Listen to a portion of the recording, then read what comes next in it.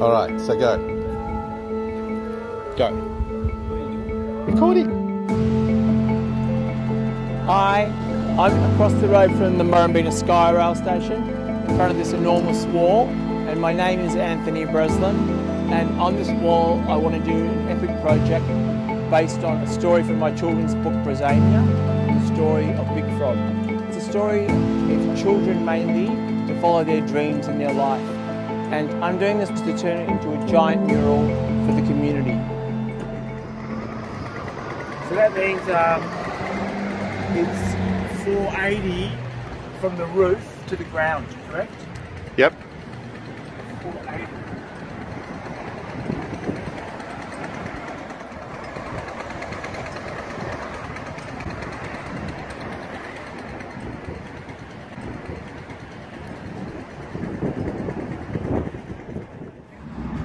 That's it.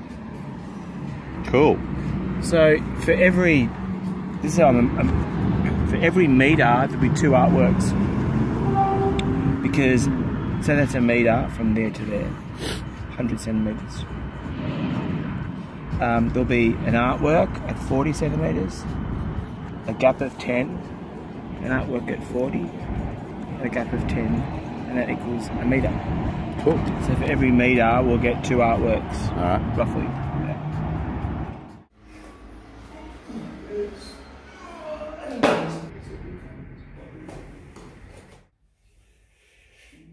It's not a. It's, they're not characters that you really need to pre-sketch or pre-plan, but I guess you have it in your head what type of shape you want off each as you're going. Yeah, some will be fatter, some will be skinnier. Hmm. You know. And then you have one big eye and one small eye. It just makes his personality, you know, more individual. Well, Right. Have, we'll have layers in his body because I'll start off with this kind of paint, which is a sheen Mm-hmm. um, acrylic. So this will dry a bit flat, and then I'll build it up to gloss.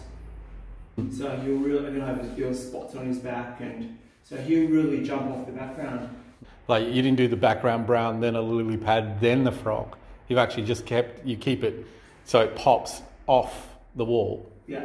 which is great. I think, which has a better effect. I think think it it's, does. it's a lot more direct. So I might do that one now, and then I'll fill this one in.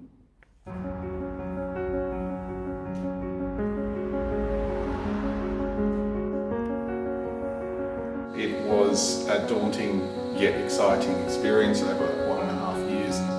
There were only a handful of people that I'd met, a couple that I'd heard of, and it was an interesting get together because, as someone who's a passionate artist myself, uh, it was new to me to work with a, a group of unknowns a, on such an important project. And so you need to be, you need to have an open mind and an open heart. And I think everyone came to the table with that.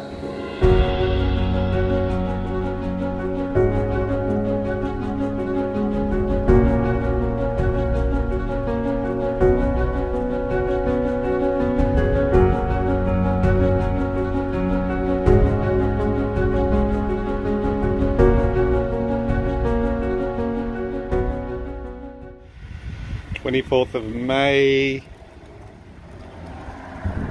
He's here. He's got his skirt on. He's already put in six pieces. He's getting started. You can't stop this man. Have you got a license to do what you're doing? No. We're going to do that.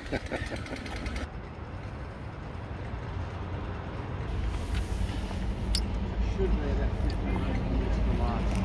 So 1800 He's stuck down pretty good, isn't he? Yeah, I think so.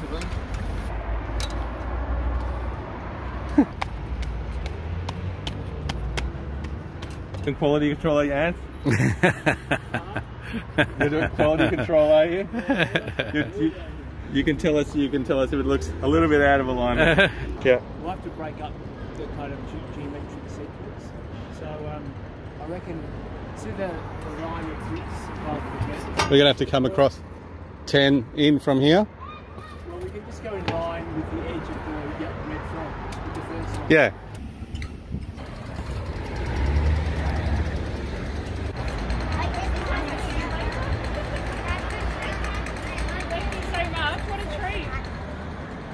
Bringing uh, the story of Big Frog to Murrumbeena, which of course is the only place that it could be because of the connection with the name, was such a huge gift to the Murrumbeena community and I think they welcomed it with open arms. But ultimately I loved the day that we actually launched it because then it, there was something that we'd been working on for so long with so much focus was shared with the community officially, recognising uh, Anthony's huge gift available to all um, at any time of the day.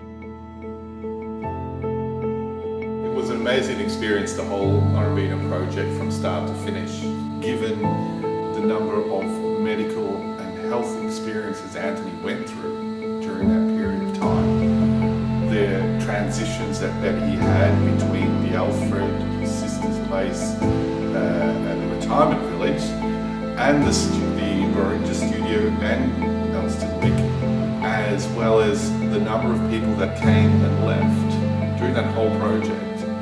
And it is, to this day, amazing that we're able to stand tall, remain connected, remain strong friends, and still, this day continue painting.